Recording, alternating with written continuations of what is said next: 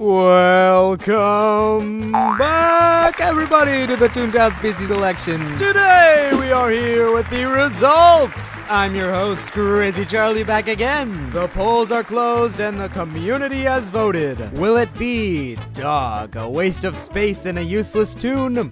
Human, an inspirational speaker and a wise old friend? Bee, a genuine meme in the American dream? Or Cog, the enemy of the Toons with absolutely no reason to be in the competition? You all voted and chose the perfect winner. We received a surprising 127 votes. Thank you to everyone for participating. Now, the results. The winner is. Cog? What? You. What? What are you guys thinking? Do you. Do you understand what you've done? Do you have any idea what you've created? You. You don't understand the extent of what you did. You don't.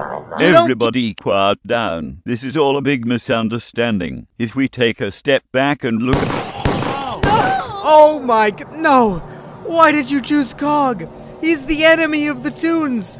You don't understand what you've unleashed. You've created a monster! No! No!